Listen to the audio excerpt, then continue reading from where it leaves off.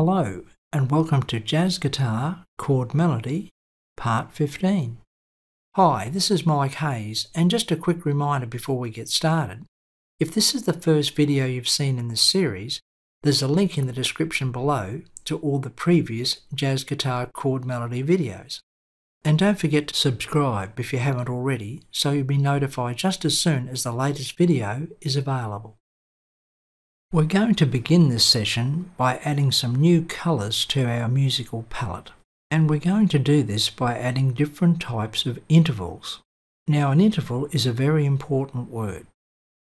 We use the word interval to measure the distance between one note and another.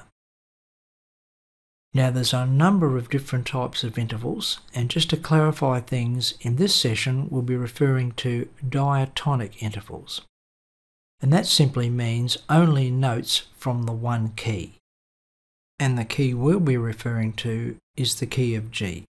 Now initially intervals can be quite tricky to get your head around, but once you get the concept it's really quite easy. The main thing to keep in mind is that an interval is a system of measurement for a musician. And the way we measure the intervals is from the lowest note to the highest note very similar to measuring from the floor of a room to the ceiling. We'll begin by playing the G major scale and we're going to play this G major scale in a linear fashion. That means we're going to play it along the length of the string. Let's have a listen.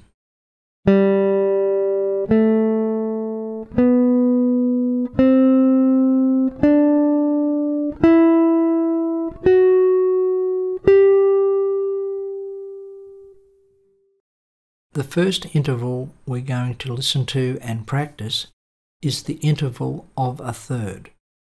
This means we're going to add a harmony note above each note of our G scale. The harmony note will be three notes higher than our original scale tone. On the screen you will see a two octave G major scale. Now if we were to pick up that scale from the third note, that's from the note B, and layer that new scale over our original scale, like this, we would end up with the G major scale harmonised in thirds. And now here's how that would look on the guitar. The red notes are the original notes of the G major scale, and the blue notes are the harmony notes a third higher. Now that we know how to create a harmony in thirds, let's have a listen to what thirds sound like on the guitar.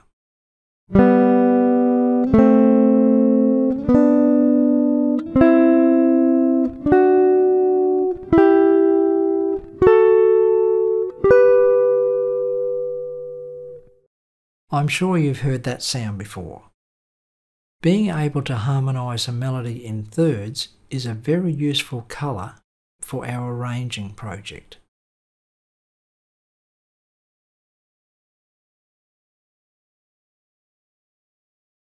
The next interval we're going to practice and add to our ever-growing sonic resources is the interval of a sixth. It's the same process that we just went through for the thirds. We start with the G major scale and then layer the scale over itself this time at an interval of a sixth. Here's how that looks. Here's the G major scale, and now we'll layer that scale with notes that are a sixth above the original notes.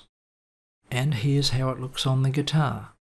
Again, the notes in red are the original notes in the G major scale, and the blue notes are the harmony notes a sixth above.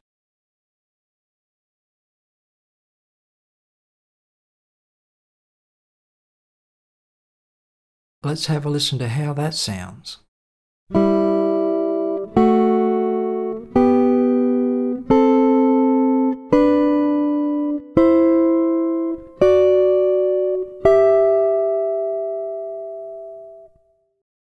Once again, I'm sure you've heard that sound. Now we're going to add one more interval to our collection, and this time it's going to be the interval of a tenth.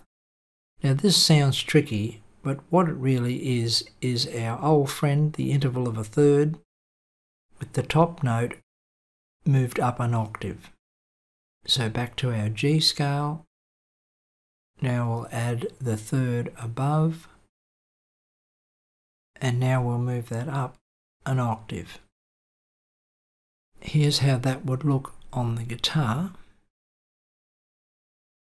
And now let's take a listen to how an interval of a tenth sounds.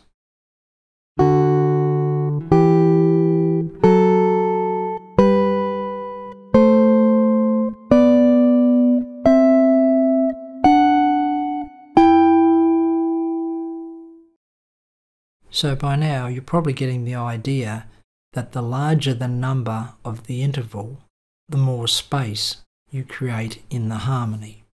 So if you wanted to get a close or a tight sound in your harmony, a third would be a good idea. On the other hand, if you wanted to create more space in your arrangement, a tenth would be a good choice. Now before we go on, now would be a good time to do a review of all our musical resources that we have so far. As far as creating a harmony from a given melody, we have two approaches that we've been using so far when we're creating a chord melody arrangement. We have the major sixth diminished approach. We also know about the passing chord way of stylizing a piece of music. And now we can add the concept of harmonizing a melody in thirds, sixths, or tenths. And now with these new musical resources under our belt, let's head back to our arrangement work that we're doing with the tune Deck the Hall. So now I'm going to view this tune as if we were playing it with an orchestra or a big band, where we had a lot of different resources, a lot of different instruments that we could choose from, and I'm going to take this idea across to this tune and the way we play it on the guitar. In our previous session, we worked out that we were going to use major sixth diminished style harmonization for bars 1 and 2. And now what I'm going to suggest here is that even though we could continue that style of harmonization, let's have a listen to how the third bar would sound played in thirds.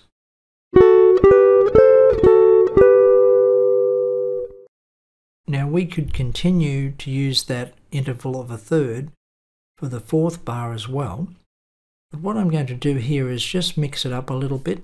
As you can hear, I stopped one note short of completing that third bar.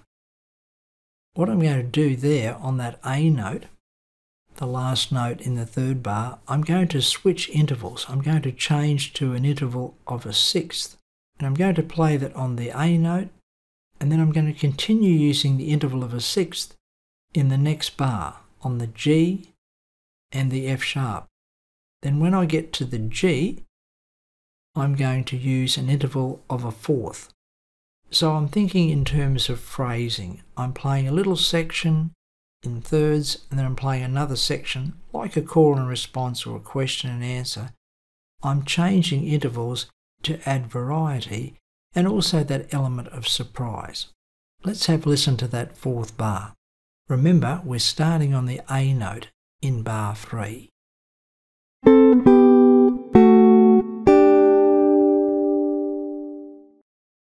Okay, let's have a listen to the third and fourth bar.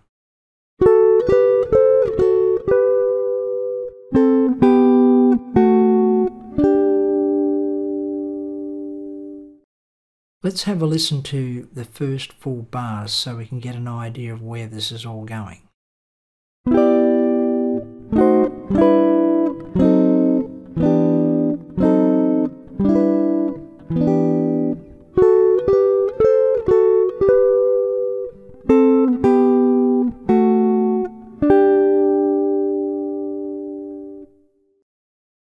What I suggest you do is try some of these new intervals in your own arrangements. You could even go back to things like the Ode to Joy, that piece we worked on a couple of sessions ago, and try some of the intervals there. Play a certain section in thirds or another part of it in sixths, just to see how it all sounds and what you prefer.